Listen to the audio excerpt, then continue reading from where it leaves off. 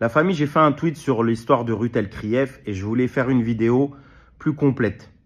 Mais je trouve cette histoire totalement, totalement incroyable. Vraiment, euh, comme je dis, c'est euh, du vent, du vent qu'il transforme euh, en tornade. Et c'est tellement grossier, c'est tellement, c'est ridicule. Je veux dire, c'est totalement ridicule.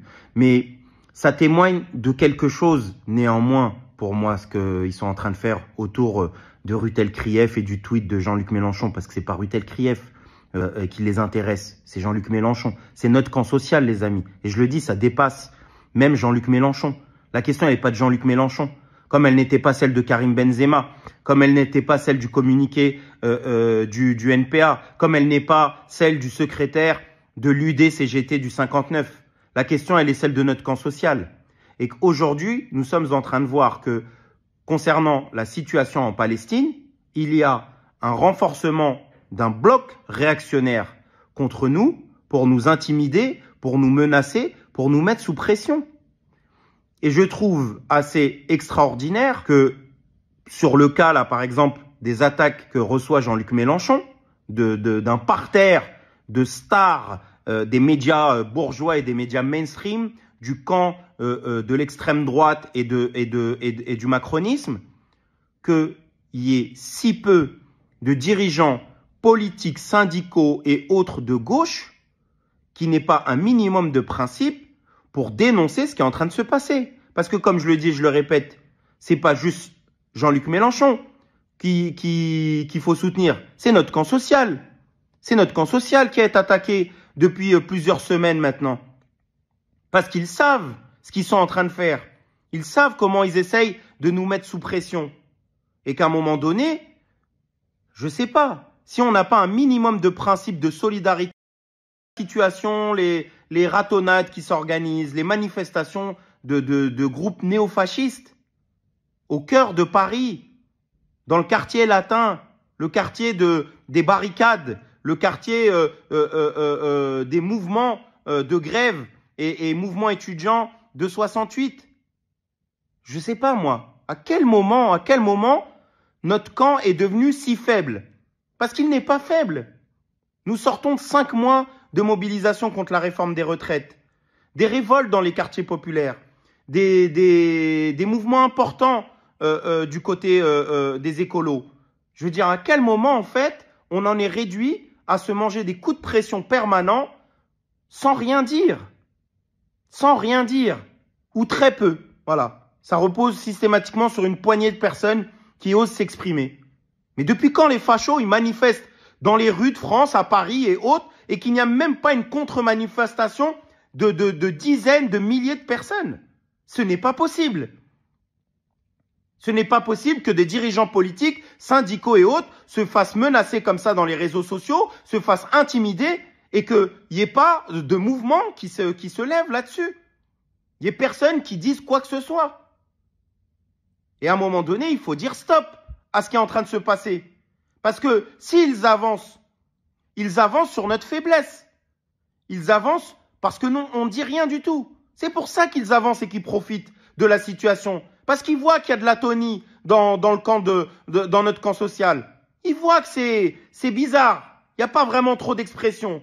Il y a des manifestations palestiniennes, mais on voit que on met pas vraiment les militants syndicaux, politiques et autres. Il n'y a pas vraiment beaucoup de travail qui sont qui est effectué. On voit que quand il y a des fachos qui manifestent, il n'y a pas grand monde qui en réalité essaye de faire quelque chose euh, euh, contre ça. Que quand la parole dans les médias, elle est totalement euh, islamophobe, avec des propos racistes et autres, qu'on instrumentalise tout. Et il n'y a pas grand monde qui réagit à tout ça. Et donc ils profitent ils profitent. Et moi, je le dis, les amis, il y a nécessité euh, de, de, constituer ensemble un bloc de résistance face à ça. Moi, j'ai énormément de désaccords euh, avec, euh, avec Jean-Luc Mélenchon ou la France insoumise, mais ce sont des désaccords politiques qui existent dans notre camp social depuis, depuis des décennies, je veux dire, programmatique, stratégique, entre la, position des militants révolutionnaires, la position de la gauche parlementaire, et je veux dire, ce n'est pas un problème d'avoir des désaccords mais un minimum de principe, c'est de se, se, se, se, défendre et de se soutenir euh, euh, mutuellement lorsque les uns et les autres sont attaqués, sont intimidés. Lorsqu'il y a des, des, des, du cinéma comme ça, là, qui est monté de toutes pièces. À un moment donné, ça suffit. Il faut réagir à tout ça. On ne peut pas continuer à laisser euh, euh, euh, la, la, droite, l'extrême droite, le macronisme, etc. nous mettre coup de pression sur coup de pression, être et défendre des groupes identitaires, des groupes néofascistes qui manifestent et qui et qui font des ratonnades dans les rues de France. À un moment donné, on se doit de réagir. Et la situation, elle est grave, les amis. Je le dis, je le dis, elle est grave. Qu'il y ait aussi peu de réactions, c'est gravissime.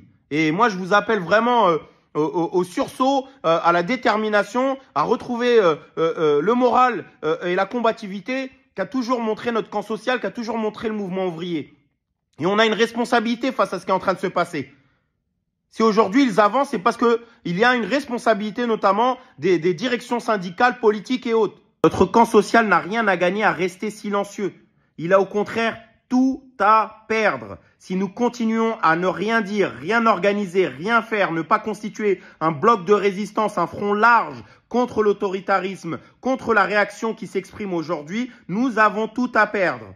Ce n'est pas le fruit du hasard s'il y a des Javier Milei en Argentine qui sont arrivés au pouvoir, l'extrême droite euh, du côté des Pays-Bas, l'extrême droite en Italie, qu'ici en France, dans les médias, matin, midi et soir, on a des porte-paroles de reconquête et, de, du Rassemblement national qui nous expliquent la pluie et le beau temps, d'accord? Ils sont plus présents que la météo aujourd'hui dans les médias, euh, l'extrême droite. Tous les jours, tous les jours. Il n'y a plus une chaîne.